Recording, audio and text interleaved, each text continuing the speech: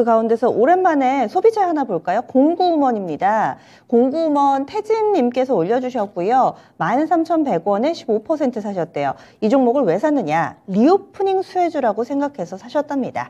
지금 약간 손실 구간인데요. 수익 가능할까요? 질문 주셨어요. 공구우먼 어떻게 보시나요? 좋게 보지 않습니다. 네, 먼저 답변부터 말씀드리고 이 종목에 대해서 연구를 상당히 좀 했었거든요. 제가 음. 굉장히 그 연구를 좀 하면서 불편함을 많이 느꼈어요. 여기 모델이 이제 김민경 씨입니다. 음. 아, 좀 약간 이렇게 민경 장군, 네, 개그우먼 그렇죠. 있죠. 네. 뭐 또 그런 표현은 적합하지 않을 것 같고 약간 건강하신 분이 음. 있죠. 축구도 하시고 그 모델로 이렇게 쓰는데 처음에는 이제 그 조금 큰 옷 있잖아요. big size 네, big size. 이런 쪽으로 하다가 네. 요즘은 약간 예쁜 옷들, 아. 뭐 이런 구두도 팔고 의류도 팔고 뭐 속옷도 좀 팔고 innerwear도 팔고 이런 쪽으로 진행이 좀 됐었거든요. 근데 그거에 비해서 이제 사이트 들어가서 제가 봤을 때 중저가 제, 제품이에요. 이렇게 좀 보게 되면 5, 6만 원대 중저가 제품인데 실질적으로 요즘 MZ 세대한테 상당히 좀 인기가 있더라고요.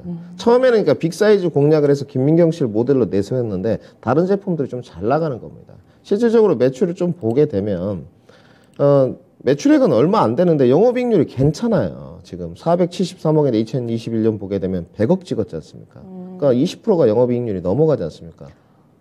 옷 만드는 의류회사에서 쉽지 않은 거예요. 그러니까요. 네, 쉽지 않은 쪽이거든요. 정말로 쉽지 않습니다. 그리고 재무가 이제 상장을 해서 그런지 굉장히 유보율이나 부채 비율이 탄탄해졌어요. 뭐 적자도 없고 들어가 봐도 이게 딱 되거든요.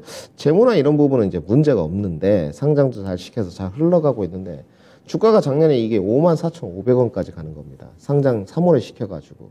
그새 증자 테마 네, 그, 그렇죠. 네, 노터스 다음이었잖아요. 네, 기억하시네요. 그러니까 불편한 부분으로 주가가 갔다는 거죠. 여기에서 내가 쫙 섞여져 들어가가지고 이 대박 시세를 정말로 시세 고점까지 끌고 가면 인생 역전의 기회가 생긴다. 음. 안 생깁니다.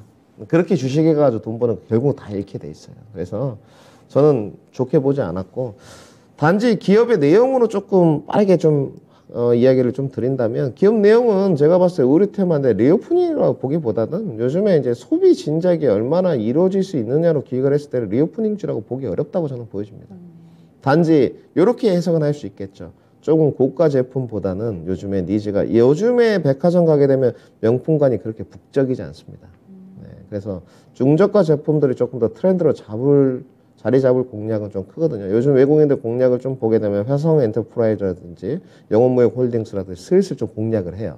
한세 실업이라든지. 그래서 저는 그런 측면에서 접근 포인트를 좀 잡아간다면 어, 괜찮게는 보는데 크게 시세는 어렵다고 보여집니다. 주가는 제가 봤을 때 더 떨어질 공산이 커 보여요. 그래서 이 부분은 손절가 잡아드리겠습니다. 62동 평균선 이탈 시에는 손절하신 게 맞고요.